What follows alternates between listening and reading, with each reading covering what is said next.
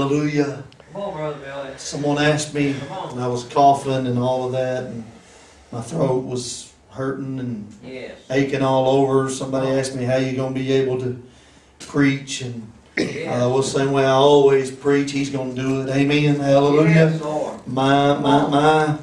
Thank you, Lord. So thankful Praise for His. Spirit, for His anointing. Yes, Lord. Hebrews, the first, the eleventh chapter, the first and second verse. Now faith is the substance of things hoped for, the evidence of things not seen. For by it the elders obtained a good report. Oh, I'm, I'm so happy today to tell you that I, realize that's how I'm going to obtain a good report today. Yes. Amen. By faith. That faith that Brother Schleese was talking about. Every man has been given a measure of faith. On, You put your faith in a lot of different things. On, Amen. Even atheists, they put their faith in the fact that there is no God. Come on. Amen. All of us use faith in one measure or in one way or the other, that measure of faith that has been given to us. But we have been learning and we have seen over and over again in the Word of God Yes. example after example that there's only one object of faith that God will recognize and accept, and that is faith in the finished work of the cross of Calvary.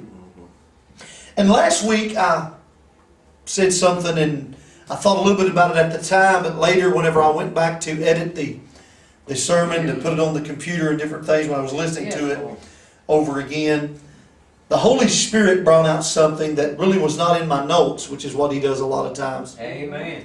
Thank you, Jesus. And as a matter of fact, if you saw my notes sometimes after my sermon, you would think, well, he didn't say that. He didn't say that. He didn't preach that right there. Come on. That's because the Lord leads in a different direction Yeah. and we don't get to all the notes, but that's all right. Amen. On. Hallelujah. But the, I told you as a minister, many times the Lord will bring something around or you'll preach something and you'll think, Lord, why am I preaching this? They should know this. The people out there that are listening by radio, the church should know this. Yes. And that's the way I f- have felt some part of the time while preaching this series of sermons. But the more that I see the things that the church is doing, the more I realize the church really don't know this. That's right. Amen. The more I receive what the religious crowd is up to, I really see that they really don't know this. Amen. And the, the Holy Spirit said something along these lines that this is the message that was preached in the beginning.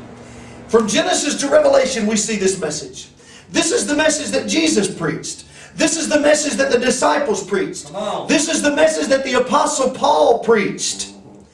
And the Lord is bringing this back to the forefront, Brother Dave Yes. and hammering this home in the day in which we live as time is running out for this purpose Yes. to give man another opportunity to accept the message or to reject the message amen, Amen. because of his mercy because of his grace he is bringing the message of the finished work of the cross to the forefront to America's attention, to the attention of the world one more time before this thing wraps up. Letting them know that there is hope in only one name. And that name, he will not share the altar with Buddha. He will not share the altar with Muhammad. He will not share the altar with Hare Krishna. He will not share the altar with Nostradamus.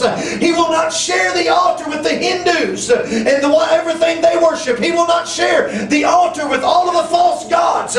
He will not. He would not share the altar, the temple with Dagon. He will not share the altar and the temple with any god that you set up today. Amen. He is God, and besides Him, there is no other. He said, I am the Lord. I am the Lord thy God. Worship no other God Yeah. besides me. You can set up your, your uh, statue of the devil in front of the courthouse. You can set it up next to the Ten Commandments, but I've got news for you. He will not share the spotlight with no other God. Oh, He is a jealous God. He is a God of mercy, yes. A God of love, yes. Yes. But He is a God of judgment.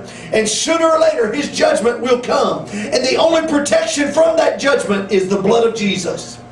Faith in the blood of Jesus. Come on, Brother Billy. You can join hands with the other religions of the world and you can say, well, we're all going to become one. No, not in God's kingdom, you're not. There's only one way to get there. When Jesus said, I am the way, the truth, and the life, he was not talking about just after the cross. He was talking about that he had always been the Yeah. way. He had always been the only way to get to the Father. Faith in him, faith in the promise that God had promised. The Old Testament saints had been the only way. On. The only way. And I know I've said this and I've been repetitive. But when you get to heaven and when you talk to Abraham, you're going to find out Abraham got there the same way you did. When you talk to Jacob and you talk to Isaac, you're going to find out that they got there the same way that old Sleece Butler of Livermore, Kentucky got there, and that is faith in the promised one. Faith in the finished work. Oh, hallelujah. Come on, preach. Faith in the finished work that took place on Come on, Calvary. preach to us, Brother Billy. And the church needs this because the church is preaching everything but this. Yes. Everything to get the attention of the world. Amen. Everything and anything except the message. Yes. Except that which really brings forth life. The truth. The Bible says that God's Spirit will not always strive with man. Come on. And a lot of people say, well, it's too late. But I know today it's not too late, and I know that God's Spirit is still striving with man because He has not shut up the heavens yet. Come on, brother. He has not shut up the truth yet. Come on, preach. The truth is still being preached. Now, granted, Yes. You can't hear it as much as you can the other because the other is louder. Got a lot more people preaching the other junk and the other garbage. On. So it's a little harder to hear the truth. Amen. Yes. But you can discern what is truth and what is not. If we can get that ear that Jesus spoke about when he said, He that hath an ear to hear, let him hear what the Spirit saith unto the churches. Amen. He that hath an ear, oh God, give us an ear to hear what you have, not what man says, not what the bestseller says, but what you say to your people today. Jesus proclaimed in Matthew 24 and 14, And this gospel of the kingdom shall be preached in all the world for a witness unto all nations, and then shall the end come. This gospel. Was he talking about the prosperity gospel? No. Was he talking about the self esteem gospel? No. He was talking about the message of the Bible, the message of the cross True. all the way through from the first book to the last the Exactly. message of the cross. Behold the lamb of god who takes away the sin of the world. You might say to them, well i'm reaching the world. Yeah but what are you reaching the world with? Yeah. amen. You can boast and puff out your chest and say well we're reaching the world. Yeah but what are you taking them? What are you giving to them the largest church in the united states. I don't know how many thousands of members they have. Don't have to tell you their name. They're, they had they had to get them a, an, an old basketball arena is where they have their church at. The largest attendance of any church in America, and they will not. You don't. You won't see a cross anywhere. You won't see any religious symbols anywhere. Why? Because they do not want to offend people. I got news for you. The Word of God will offend you. Yes. Amen. Amen. The Word of God will, it will not pat you on the back and soothe your flesh. The Word of God will offend oh, you. Amen. Oh, Say, well, I want to go to a church where I don't feel bad and I won't be offended. Well, you can find a lot of those, but they will not lead you to the right way because the Word of God will offend your flesh. The Word of God will offend us. Amen. True. But through that offense comes the truth. Yes. Amen. Come on. I heard some people talking yesterday in the dollar store, and I was looking for on the cereal aisle, and I could hear them on the other aisle. Mm-hmm. I'd be lying if I said I didn't listen close because they said something that caught my attention. They were talking about their church, and they were talking to another gentleman who was witnessing to them and was talking about the Lord. And they said, "We have a friend. He won't. He don't. He won't come to our church because he feels like he's being judged." And the guy said, "Well, tell him to come on to our church. He won't feel like he's being judged there." Yeah. Amen. Now, don't get me wrong. There is an old judgmental spirit that people can have. Yeah. But most of the time, when they talk about that, it's Holy Ghost conviction they've been feeling when they go there. Amen. Well, now, well, I, I don't feel. They don't make me. f- It, when I go there, I don't feel good. Uh, Yeah, it's because you can't live in sin and come before the presence of God and feel okay about it. Come. Amen. Come on. Preach. You can't cover up that. and expect to stay in the presence of God and not feel bad about it. Exactly. Old-fashioned Holy Ghost conviction will make you feel bad.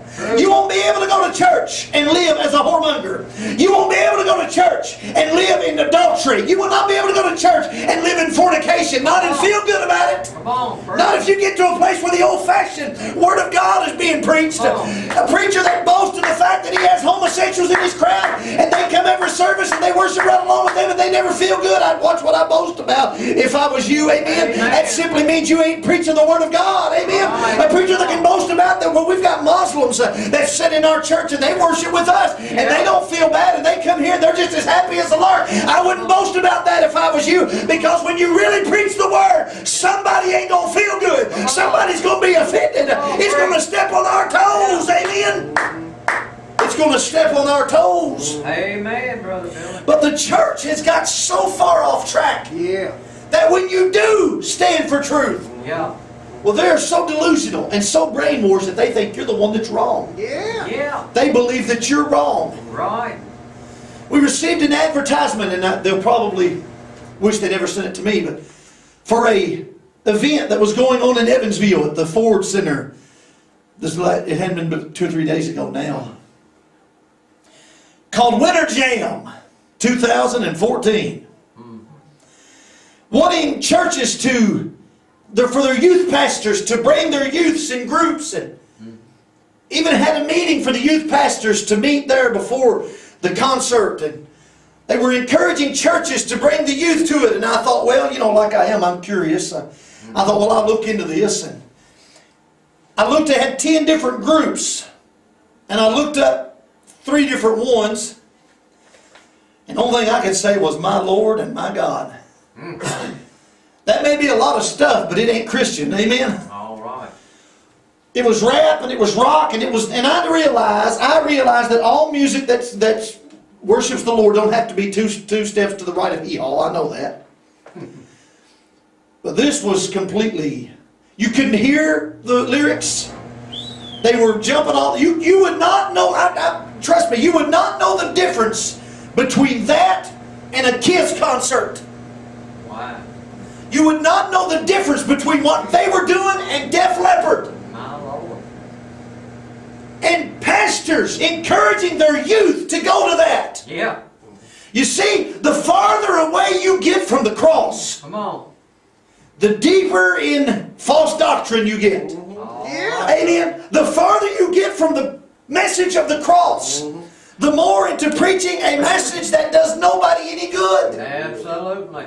Churches all across our nation today will clean out their sanctuary, move their Bible stand, and set up a TV Yeah. and show the Super Bowl for their congregation. Come on. and pass out hot dogs and popcorn on the pews. Yeah. I told Brother Tyler that this morning. I said there's a church having a Super Bowl party tonight. I had read about it. Hmm. Said they're going to move out their Bible stand, going to set up a big screen TV, Yeah. going to pass out snacks and stuff. Brother Isaac made one of those faces that only he can make. I ain't even going to try to do it. And he said, "Sick. That sounds like a horrible church." Amen. I said, "Well, I couldn't say it no better than that." All right. True. Super Bowl Sunday, giving the church just one more chance to make themselves look spiritually stupid. All Amen. right. Preachers preaching their sermons on the football field that they've got on their platform. Yeah. And I saw one had a halftime show. They were going to have that hippity hoppity bippity boppity music right in the middle of the half, so their congregation would have a halftime show. Yeah. All of that to draw a crowd. My. Amen. You may draw a crowd to whatever event you're having, but you will not draw them to Jesus. Yeah. Not without the Word of God. Amen. You can dance from the time you come in the door until you can dance yourself right back out and think, boy, I really had me a boot scooting time. But if the Word of God is not preached, if Jesus Christ is not glorified, if the message of the cross is not lifted up, I got news for you. If your message is anti-cross, it is anti-Christ. Amen? Because that's what He came for. That is the reason He came. Amen. Is the message of the cross. Exactly. And I know that don't win me any brownie points. But you know, I have weighed the cost between compromise hmm. and preaching the truth. Amen.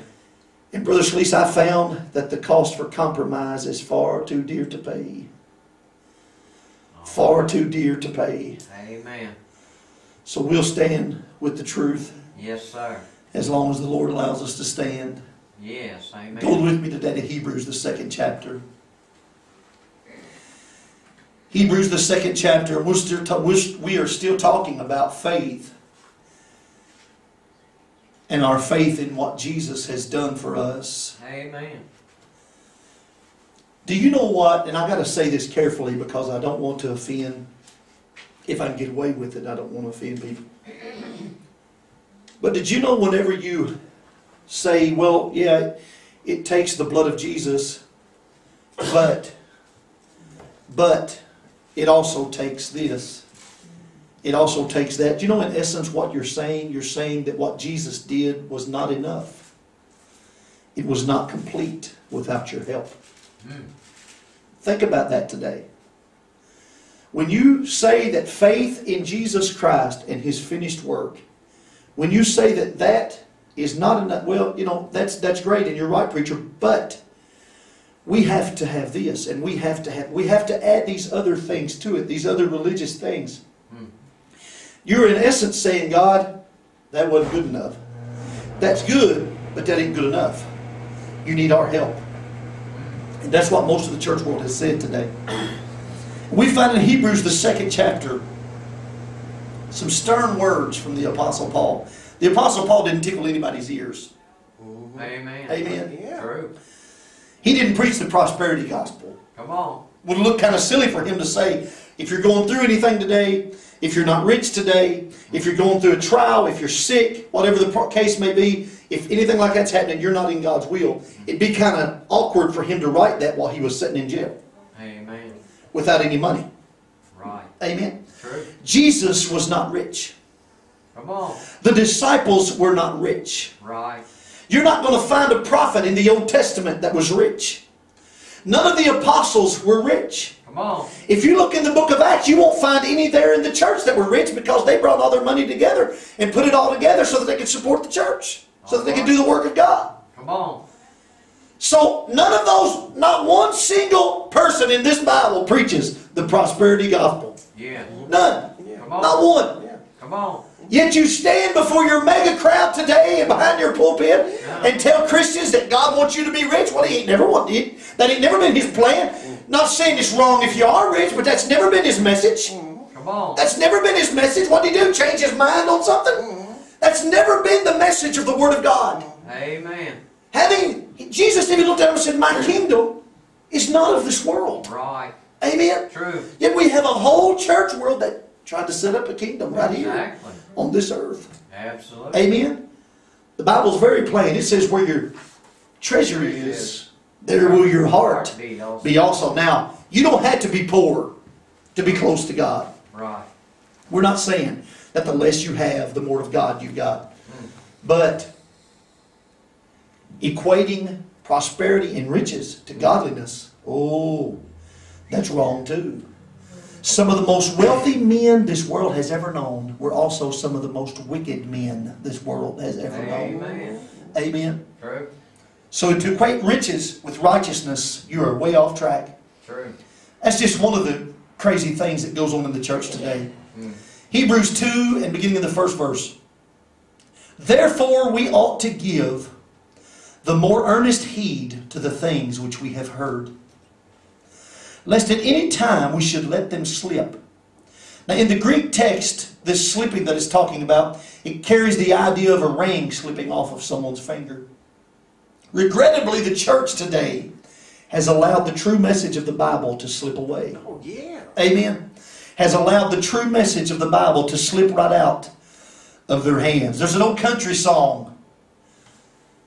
and I don't know it. I know the, the little bit of it. Says something about I had you right on the tips of my fingers, but I let you slip right through my hands. The, tr- the church has allowed the truth to slip right through their fingers today. Amen. Exactly. The church has presently, as we know it today, has allowed the message of the cross and the message of the Bible to slip right through their fingers. Men and women taking a verse here and a verse there and cherry picking it so that they can preach their message or that they can push their agenda so that they can fill their pockets with your money. Amen? True. The Apostle Paul says we ought to give the more earnest heed to the things which we have heard. In other words, take care of them. Right. Diligently take care of that which you have been given, the gospel, the message, lest at any time we should let them slip. Amen? Let them slip out of our hands, is what he's saying. Verse 2 says, For if the word spoken by angels was steadfast, and every transgression and disobedience received a just recompense of reward. Look at verse 3 with me. How shall we escape if we neglect so great salvation? If we neglect the cross today, we have destroyed ourselves. Come on. If we neglect to preach the truth today, the gospel, the message of the Bible, if we neglect to preach that, Brother Dave, how shall we escape? If the angels that rebelled with Lucifer Come on. were unable to escape the judgment of God, if all we, we've looked time and time again at people here in the Bible that were unable to escape the judgment of God because they put their way above God's way. On. We learned that with Cain and his altar that he sacrificed. We learned that there in Egypt whenever the, the angel, whenever death came through and took the firstborn. When death came through and took the firstborn, we learned that the only escape from that was the blood. When I see the blood, we learned from Noah and his ark that there was only one escape. There was no way to escape the judgment that was going to be poured out except getting onto the ark. How shall we escape today? If we neglect so great a salvation, if we deny the Son of God and the sacrifice that He made on Calvary's cross, if we stand today and say that's not enough, that's not good enough, that's not the answer, how shall we escape today if we neglect this great salvation? Come on. How shall we Come on, escape?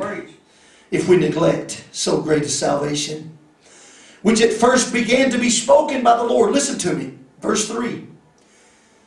It says, How shall we, how shall we escape if we neglect so great salvation?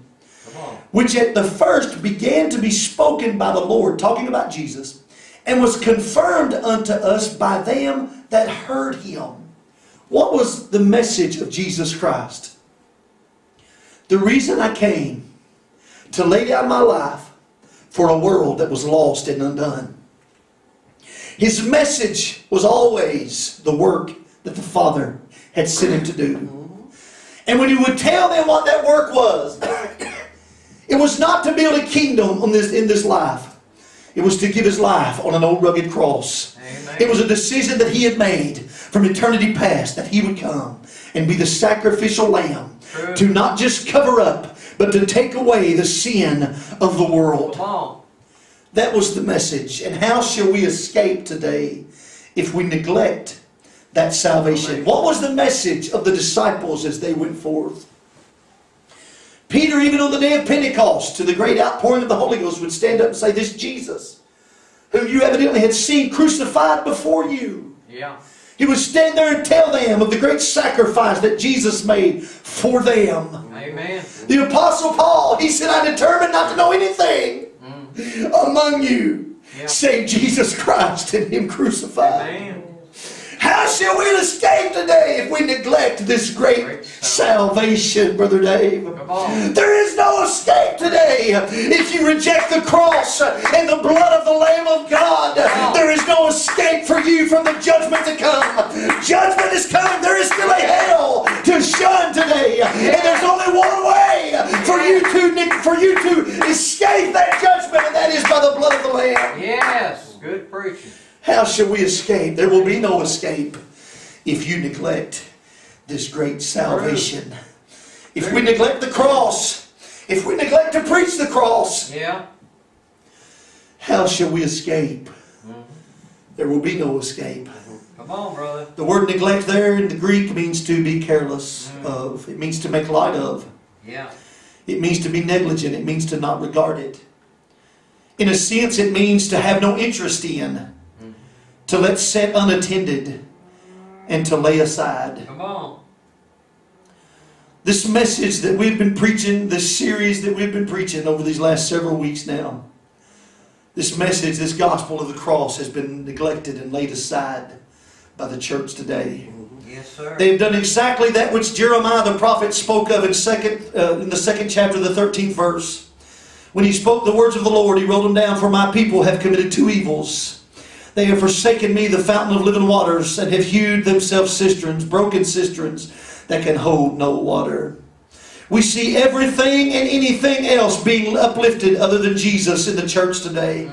We see everything and anything being preached today in the church except for the message that Jesus preached, the message the disciples preached, the message that even the prophets of old preached. When prophets like eh, when prophets like Isaiah stood and said, "Behold, a virgin shall conceive and bring forth, oh, hallelujah, shall bring forth a son, and they shall call his name Emmanuel, God with us." Amen. For unto us a child is born, and a son is given. Hallelujah. The government shall be upon his shoulder. His name shall be called Wonderful Counselor, Prince of Peace, the Mighty God, the Everlasting Father. The message of the prophets, the message of the disciples, the message of the apostles, the message of our Lord is being neglected today by the church as we know it. Amen. Jesus Christ and Him crucified. True. Listen to me. The message of your best life now is not the message of the Bible. Jesus did not preach that. None of the disciples preached that. The Apostle Paul did not preach that. The Bible is clear from start to finish that there is a heaven to gain and a hell to shun. Come on. And that while we are in this life, there will be trials. Yes. There will be sorrow. Come on. There will be tears. Right. There will be death. Oh, but there's coming a day. Oh, Brother Dave, I wish I could get some help this morning. There's coming a day. There'll be no more sorrow. There'll be no more tears. No more sad goodbyes. And no more death on the other side of the river. There is a heaven to come this morning, church, but it's not here on this earth. True. In essence, if you believe that you're going to have your best life now, mm. that ain't saying much for you where you intend to spend eternity. Come on. Amen. You can't have your best life now. Amen. Not possible. Right. Because I have not seen, and ear hath not heard that which he has in store for them that love him. Oh, isn't that wonderful this morning? Amen. The power of positive thinking today is not the message of the Bible. Come on. The message of self esteem is not the message of the Bible. As a matter of fact, self denial. Is the message of the Bible. Yes, sir. True. to realize that it is not within you, it's in Him. Amen. Oh, my, my, my. I ain't supposed to feel like preaching today. I said, it's not within us, Come on. it's in Him. Right. The branch cannot do, the, the, the, uh, the branch can do nothing without the tree. Absolutely. Amen. If you go out today to an apple tree and you see a branch there and it's bringing forth big, beautiful apples, what happens? When you disconnect that branch from the life source, from the tree, cut that branch off that has those, that beautiful fruit on it and cast it to the side, and what happens? The branch will wither and it will die. That's what's happening to the church today. We've never had more people coming in. We've never had better entertainers. We've never had better music. We've never had better programs. Yeah, but we've never had so less of the message of the Bible either. That's right. Amen.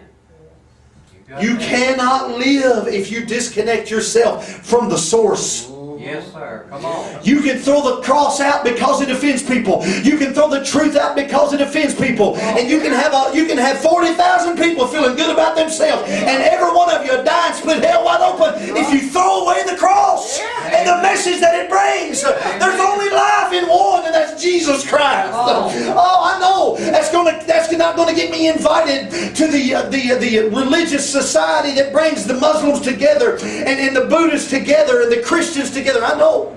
Come on. I ain't gonna get to talk to any of those folks because Jesus and you ain't either unless you compromise. That's right. You ain't either unless you compromise. Yeah. Because Jesus is the way. Yeah. Jesus is the truth.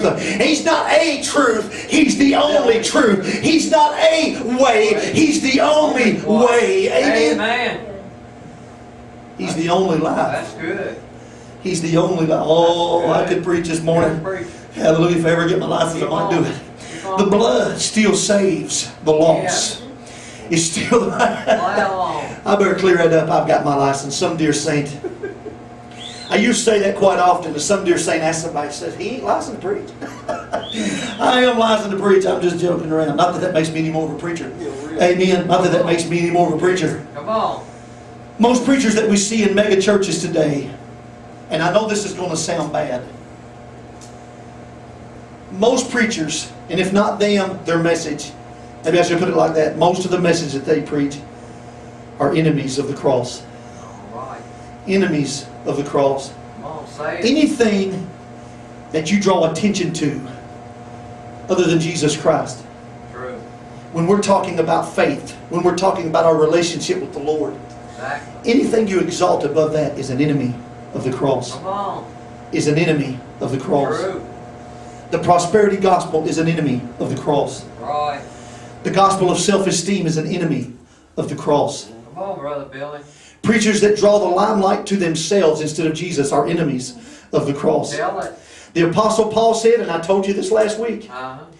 I didn't come to you with, with big swelling words and beautiful words because I did not, he said, I didn't come to you with those things because I did not want the cross to be, the spotlight to be taken off the cross. Oh. I didn't want it to become of no effect to you because you were looking at Paul. Now, see, in that day, they had people that were saying, I'm of Paul, I'm of this one, I'm of that one.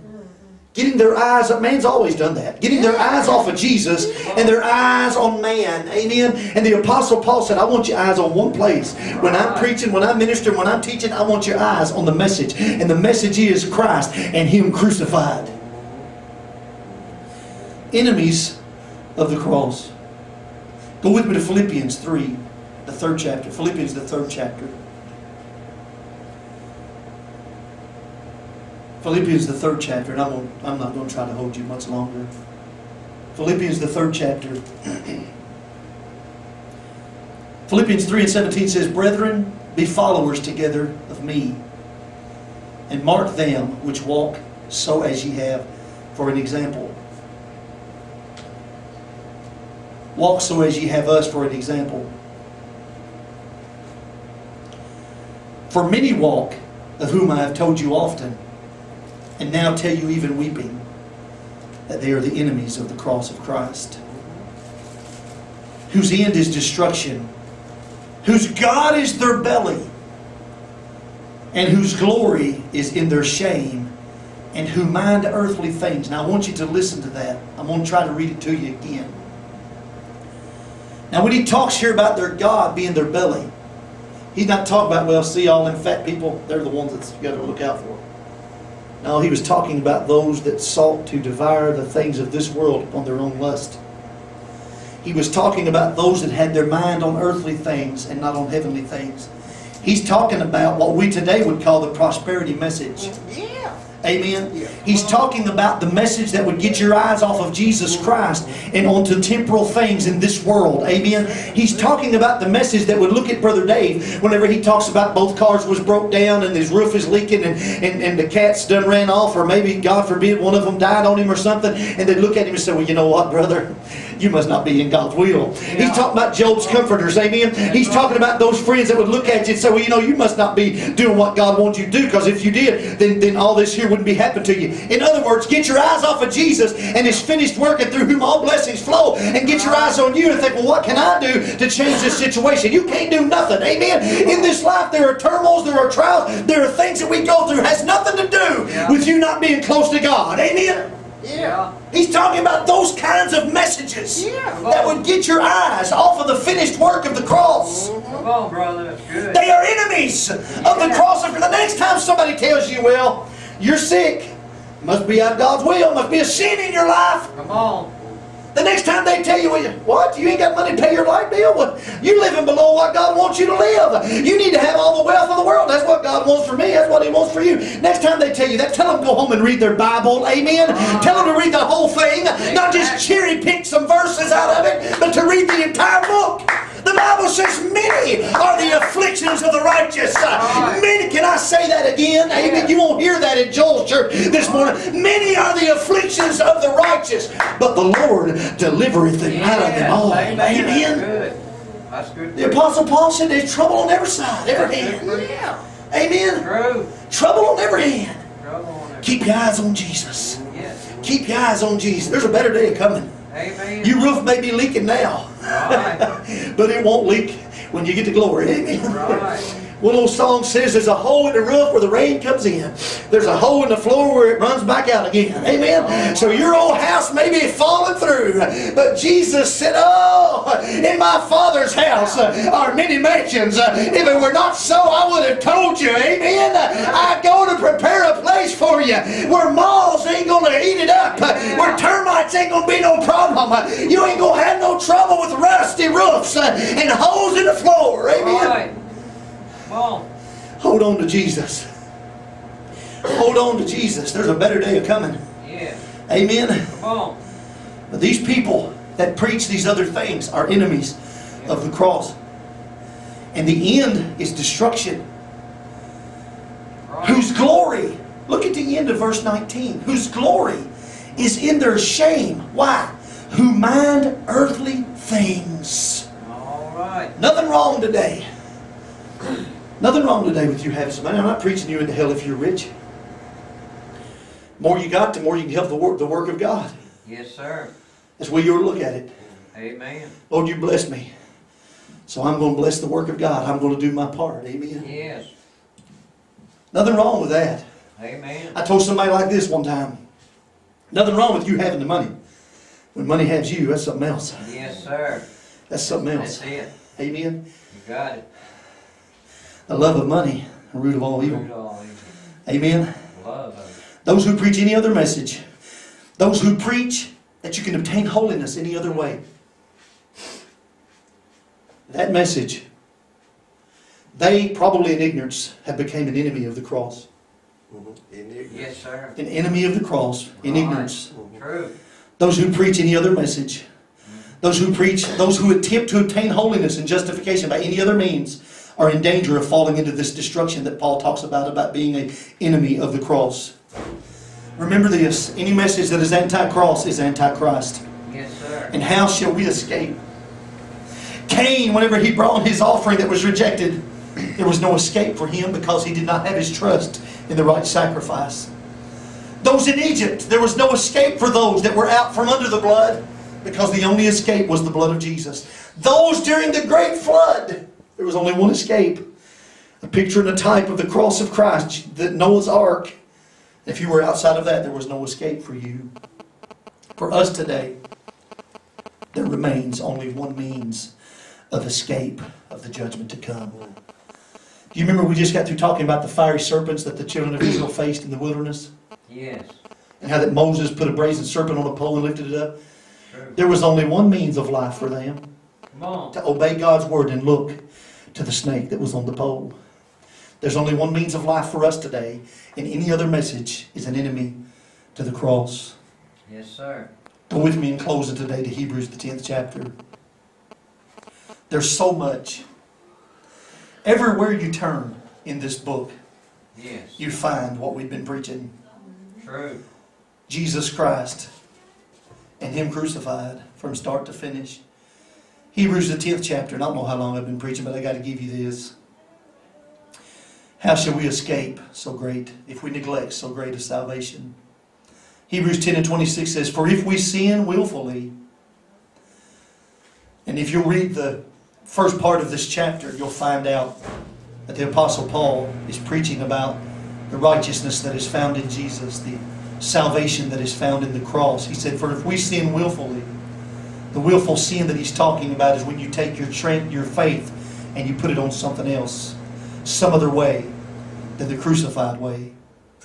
He said, For if we sin willfully, if we do that, if we take our faith off of Jesus and we put our faith in something else, whether it be another God, whether it be another man, whether it be our works or our deeds or our own self righteousness, if we sin willfully, if we do that, after we have received the knowledge of the truth, after you have been told the way of salvation is only through Jesus Christ, whenever you take your faith and you transfer it to something else, the Apostle Paul said at the end of that verse, there remains no more sacrifice for sins. Now listen to me.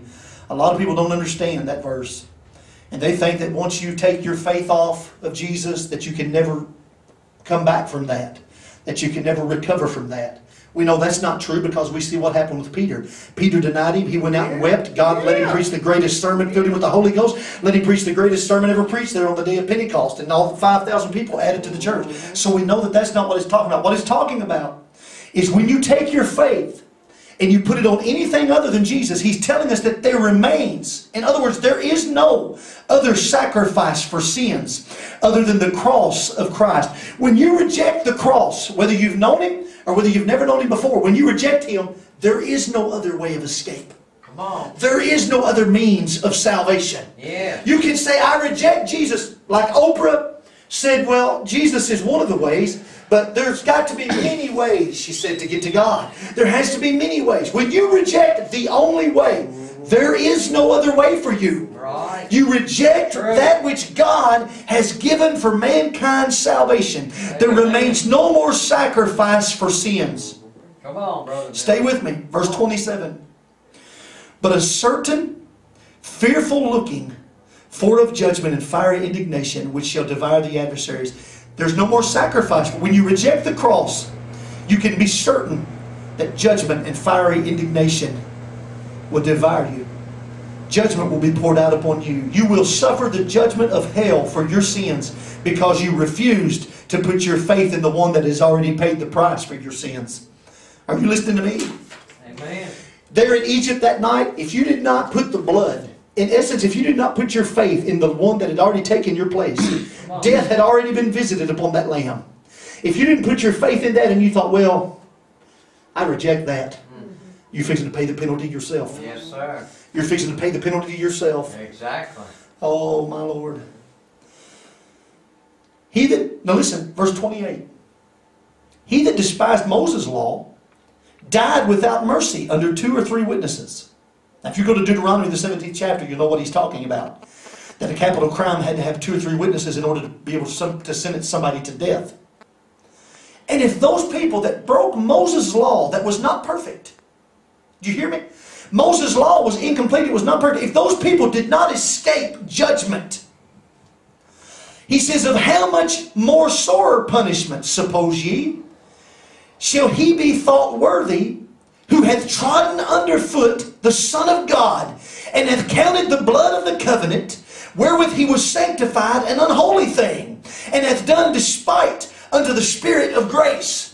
He said, if those that broke the law did not escape judgment, and the law was not perfect, the law was just, it was a temporal thing. If those people suffer judgment, how shall we escape if we have trodden underfoot the precious blood of the Lamb? If we have rejected the way of the cross, how shall we how shall we escape judgment today if we neglect this, if we reject this? That's why this message is so important today because if you miss this, you miss it all. If you reject the cross, there is no going back and fixing it later on. When you stand before God, if you reject it, if you trod underfoot the precious blood of the Lamb and you rejected the sacrifice of His Son, there remains no more sacrifice for you. The cross of Christ has become of no effect for you, like the Apostle Paul wrote so many times. How much sore punishment, suppose ye, shall he be thought worthy, who hath trodden underfoot the Son of God, and hath counted the blood of the covenant, wherewith he was sanctified, an unholy thing, and hath done despite unto the Spirit of grace, rejecting the cross, whether you've been saved once and you say, Well, I'm not, I reject it, or whether you've never been saved, rejecting the cross and choosing another way, there remains no more sacrifice for you until you once again turn to the cross. Amen. Do you hear that this morning? Yes, sir. Until you once again turn to the cross. Yes. The price that was paid for you, you have not accepted, so you will pay the price yourself, Yes, sir. which is judgment, which is hell, Guaranteed. which is hell, which is death, Absolutely. the second death, the dying that you will do forever Yes. if you trod underfoot the Son of God and have counted the blood of the covenant Amen. as unholy. Mm. Unholy. For we know him that hath said, Vengeance belongeth unto me, I will recompense, saith the Lord. And again, the Lord shall judge his people It is a fearful thing to fall into the hands of a living God. Yes, sir. It is a fearful thing today to fall into the hands of a living God if you have trodden the blood of Jesus under your feet. Amen. If you have rejected the covenant. You see, it's not, you know, we see the story of the prodigal son and how he went back and the father welcomed him with open arms. Mm. It's not going to be that way for millions and millions of people because they have rejected him. They will not stand before him as him as their father. They will stand before him with him as their judge. Good. Right. With oh, on Judgment day is coming. judgment day. Praise God. Standing room only. Yes.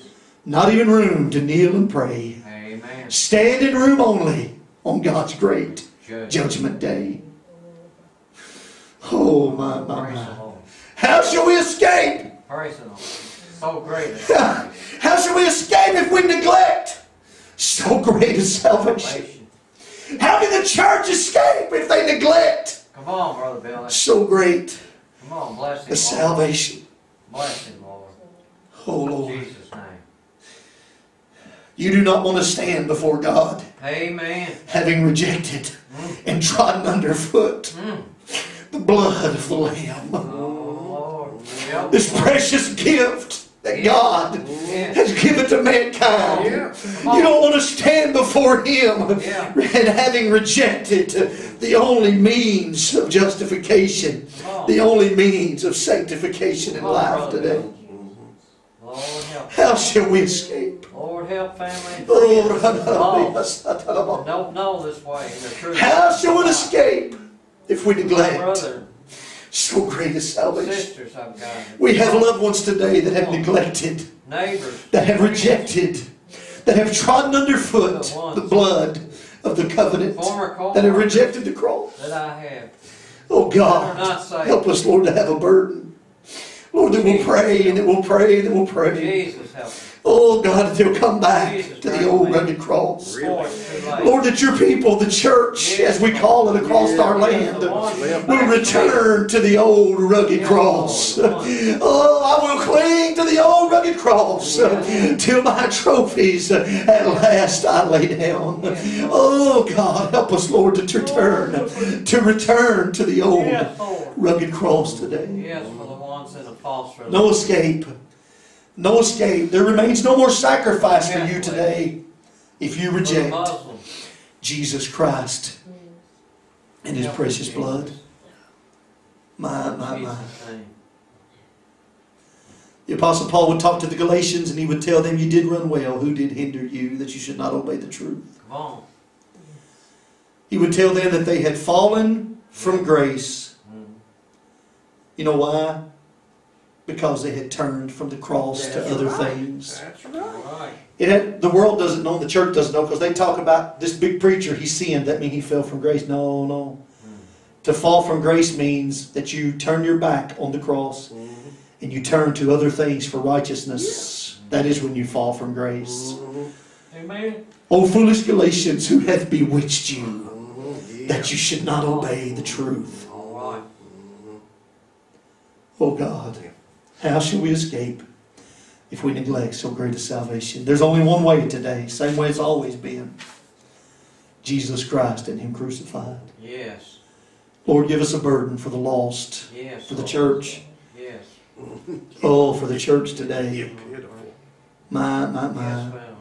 Let's pray down a burden. Amen. And ask the Lord to save while there's still time. Hallelujah. Yes, We must work while it is day, for night soon cometh When no man shall work. Amen. Hallelujah. Someone else this morning have something mm-hmm. before we go.